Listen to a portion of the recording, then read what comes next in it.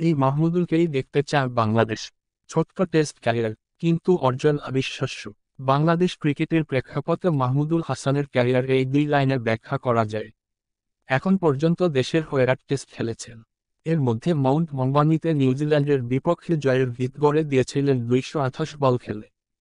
C টেস্টে মাহমুদুল যখন আটাত্তর রানে আউট হন, নিউজিল্যান্ডের চার পেসারে সাজানো বোলিং আক্রমণ ততক্ষণে ক্লান্ত। পরের ব্যাটসম্যানরা সেই সুযোগ কাজে লাগিয়ে বাংলাদেশকে নিয়ে যান চারশো আটান্ন রানে। যেখান থেকে ম্যাচ জুড়ে দাপট দেখাতে পেরেছে বাংলাদেশ। শেষ পর্যন্ত জিতে গড়েছে ইতিহাসও টেস্ট ক্রিকেটে সে আটাত্তর ছিল মাহমুদুলের তৃতীয় ইনিংস। আটাত্তর তো সংখ্যা মাত্র। নতুন বলে টেস্ট চ্যাম্পিয়নশিপ যেটা নিউজিল্যান্ডের পেসারদের বিপক্ষে মাহমুদুলের সেই প্রতিরোধের দাম আটাত্তর চেয়ে বহুগুণ বেশি। মাহমুদুলের পরের ইনিংসও ইতিহাস। দক্ষিণ আফ্রিকা সফরের ডারবান টেস্টে যখন একের পর এক ব্যাটসম্যান আসা যাওয়ায় ব্যস্ত, তখন বাংলাদেশ পেয়ে যায় মাহমুদুল নামের ক্লান্তিহীন লড়াকুকে। তিনশো ছাব্বিশ বল খেলার পথে ক্রিজে ছিলেন চারশো বিয়াল্লিশ মিনিট।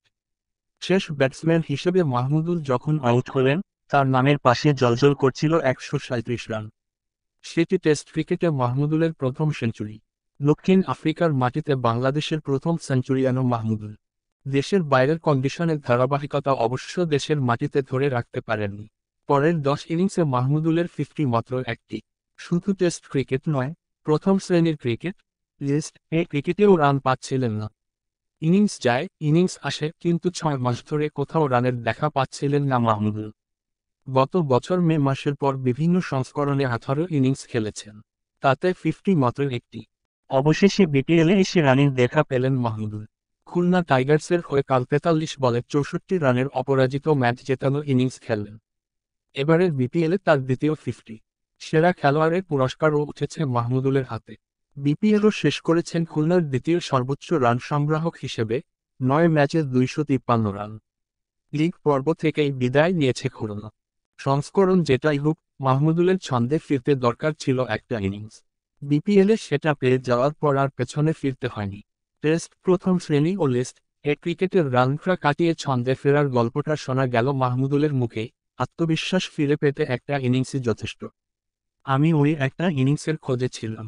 সেটা পাওয়ার পর চেষ্টা করছি পুরো বিপিএলে তা ধরে রাখার। টেস্ট দিয়ে আন্তর্জাতিক অভিষেক আর টেস্টের সাফল্যে মাহমুদুলের নামের পাশে টেস্ট ব্যাটসম্যান তকমাত্রা বসে যায়। কিন্তু বিশ ওভারের খেলায়ও যে মাহমুদুলের দক্ষতা আছে, সেটি পরপর দুই বিপিএলে বুঝিয়ে দিলেন মাহমুদুল।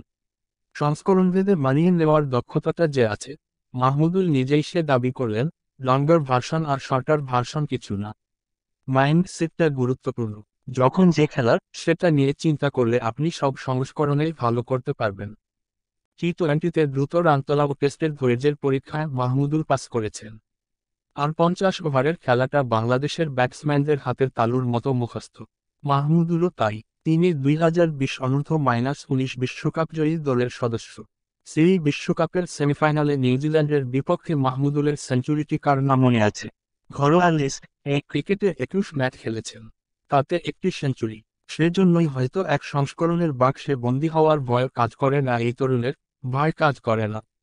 ভয় পেলে তো আর ক্রিকেট খেলা যাবে না, হাসি।